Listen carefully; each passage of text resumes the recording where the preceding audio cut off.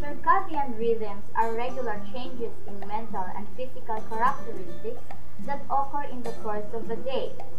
Most circadian rhythms are controlled by the body's biological clock. This clock called the suprachiasmatic nucleus or SCN is actually a pair of pinhead-sized brain structures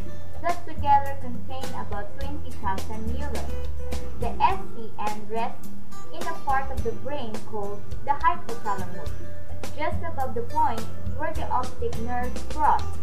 Light that reaches photoreceptors in the retina, a tissue at the back of the eye, creates signals that travel along the optic nerve to the SCN.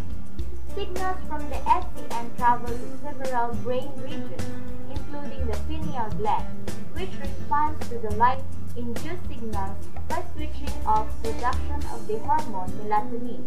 The body's level of melatonin normally increases after darkness falls, making people feel drowsy. The SCN also governs functions that are synchronized with the sleep-wake cycle, including body temperature, hormone secretion, urine production, and changes in blood pressure. By depriving people of light and other external time cues, scientists have learned that most people's biological clocks work on a 25-hour cycle rather than a 24-hour cycle.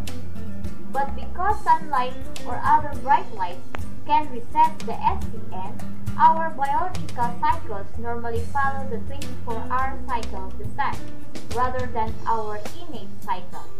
Circadian rhythms can be affected to some degree by almost any of external time cues, such as the beeping of your alarm clock, the clatter of garbage trucks, or the timing of your meal. Scientists call external time cues Zeitgebers, German for time givers. When travelers pass from one time zone to another, they suffer from disrupted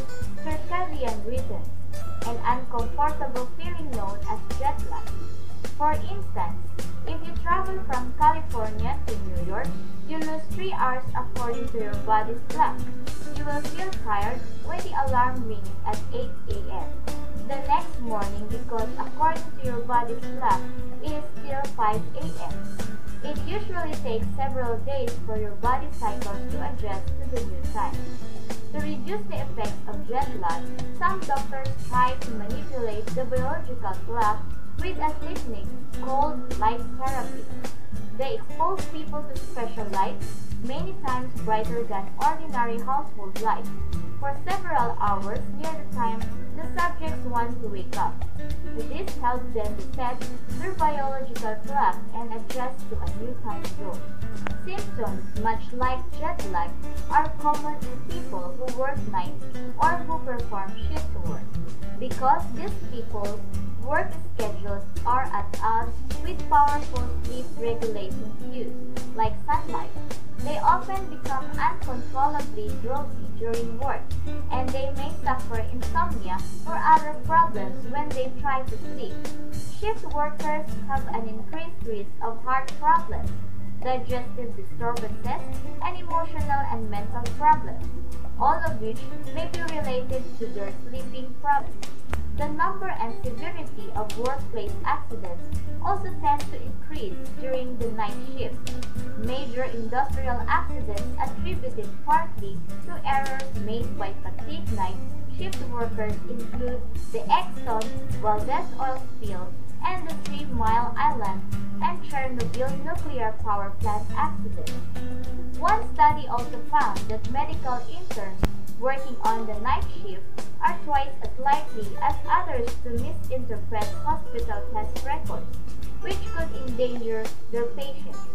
It may be possible to reduce shift-related fatigue by using bright lights in the workplace, minimizing shift changes, and taking scheduled naps. Many people with total blindness experience lifelong sleeping problems because their retinas are unable to detect light. These people have a kind of permanent jet lag and periodic insomnia. Because their circadian rhythms follow their innate cycles, rather than a 24-hour one. Daily supplements of melatonin may improve nighttime sleep for such patients. However, since the high substance may create new problems because the potential side effects of melatonin supplements are still largely unknown, most experts discourage melatonin use by the general public. Lastly, make using the eye mask part of your sleep habit. Consistent use of it will improve your rest recovery and overall health.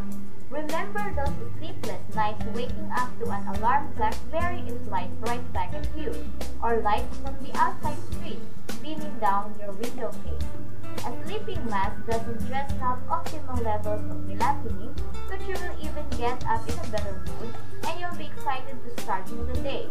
Take baby steps to look after your health in the short term and you are guaranteed a much healthier tomorrow. You can find more useful information about the eye mask and other great ways to improve your sleep and health by checking out our EyeMask website at www.eyemaskforsleep.com now.